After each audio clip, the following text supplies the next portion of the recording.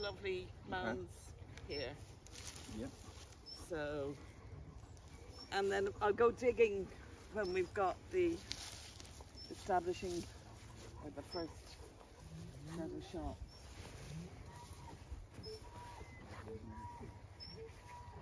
Look, he's got a beautiful spider going into your bag.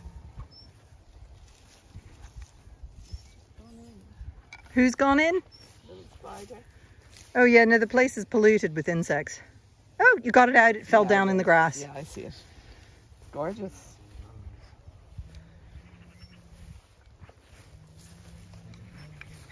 You will be stepped on. So I think I'm going to pick you up. I think I think that might be wise.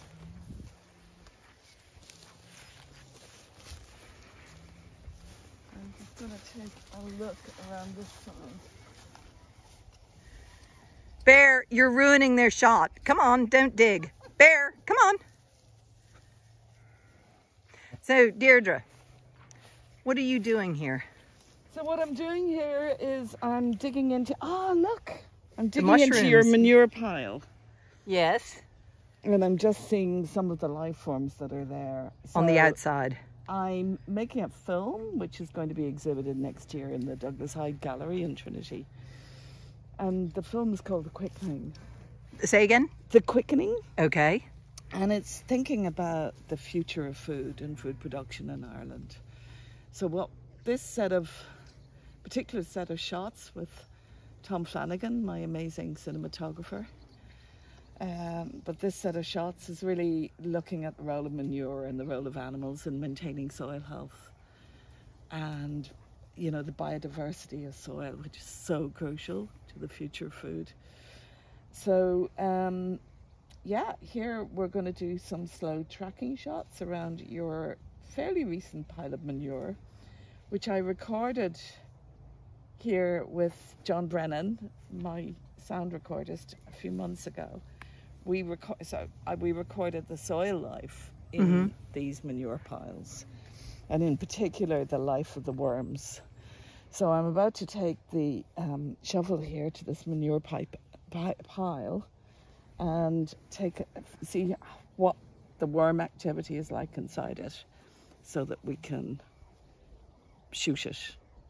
So it'll be married up to the sound engineer's noise, or sorry, sounds sound of the worms. the worms, which are incredible. They're they're the closest thing I can find to them is the sound of deep space. Interesting. Yeah. You know, Very the kind of electronic noises and pulses you The hear. clicks and pops of space. Exactly. That's the And you- sound of that manure pile. Very interesting. Yeah. Well, we are a mineral content from space, so it We only makes sense. It's, I, I hadn't actually considered that. well, we Uh, are. Yeah, yeah. We yeah. are from space, so we are from soil. So it's all part of the same equation.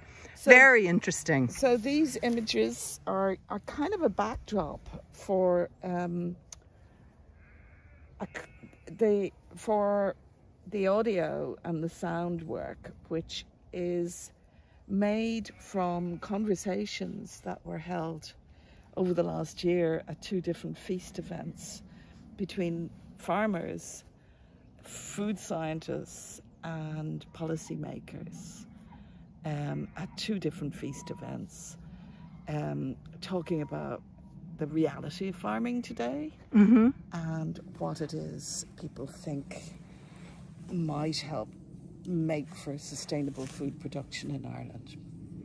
Oh, very interesting project. And this has been going on. I think we started talking about it in the middle of COVID, didn't we? Yeah, yeah. It was, so that makes it three years ago, three four years, of ago. Research has gone into this. And I met you in Carlow at the Shaw, At visual. at Visual, sorry, uh, where you were doing your potatoes. And I said, we must talk. And you said, we must talk.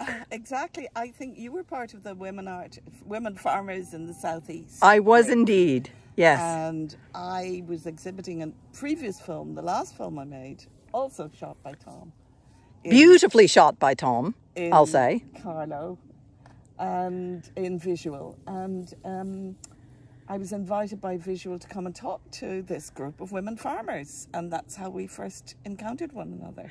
And our conversation went from, from potatoes to sainfoin.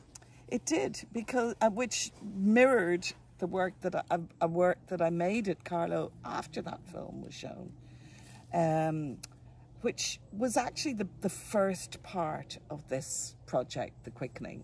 That first part was called Sustainment Experiments. And the idea of sustainment was put forward by a design philosopher called Tony Fry, Australian design philosopher. Mm-hmm. And he talks about the idea of this, this moment of sustainment being the equivalent to the moment of the Enlightenment, when cultural behaviors and attitudes were shifted completely from an idea of, I suppose, human life being governed by the church and by by God and the king yeah. to the individual you know if the enlightenment heralded the age of the individual yeah. and all that came with that from scientific developments now the age of sustainment is about thinking not just about us human individuals but all human all sorry all earthly life forms which means from the grass to the fungus to the flora exactly, to the fauna from to the bacteria to the megafauna to to to your horses in your fields to the birds in the air to all all living creatures including worms and dung beetles. Including worms and dung beetles. And i suppose it was our conversations about what makes for healthy soil that came out of the project that I did at Visual, where I used potato ridges to break the ground for a later planting of sainfoin, uh, which is a fodder crop that I had researched in the UK previously. And sainfoin is a crop that I think has real potential here in Ireland for farmers to farm sustainably without depend, being, being dependent on nitrates and has all because it sequesters nitrogen in the soil and it has all these additional benefits like high protein, like anthelmintic properties, so it reduces parasites, um, as well as huge amounts of biodiversity benefits and um, uh, other benefits that don't immediately come to mind, but it's it's a really interesting crop. Oh yeah, the primary benefit and the thing that got me interested in the first place in sainfoin. In sainfoin, is that it grows in drought. Oh, because it's so deep it rooted. Really it has massive deep, deep roots. Um, and I was thinking, well, with climate change, this is a this is a fodder crop. You know, we're dependent on ryegrasses here in Ireland. They've short, shallow root systems, and the minute you get a drought, the grass shrivels and dry, dies. Yes. Sainfoin is a perennial. It'll return. It's hard to establish. It's not an easy crop to begin with. I won't Yeah. Make any. I won't hide that fact, but um, Once it gets going, once go, well, you know, the second year. So what I did was I used potato ridges planted, made by the members of the Irish Loy Association, who've been frequent collabor- collaborators in my work. yeah. I used potato ridges to break the ground in the shape of a, an I Ching hexagram. Ah, So the I Ching is a way of telling about the future. Yeah. Has been around in China for thousands of years. yes. And I cast the I Ching using an app, of course. As Yeah. Do these Yeah. Days, Yes. uh, to the question, what's the future of sustainable agriculture in Ireland? yeah. And the I Ching threw up a quote, which essentially the, the, the primary thrust of it was act modestly. Yeah. Don't follow progress models. Don't follow policy. Do the right thing. So that's become the kind of overarching symbol and um, principle behind that I'm trying to communicate through the project. So this the I Ching hexagram was remade in potato ridges first, and now that shape is being maintained in sainfoin. And you did that, and you even had, where was it in Asia that um, they. They and in Korea we did a second planting to the same pattern, but using buckwheat.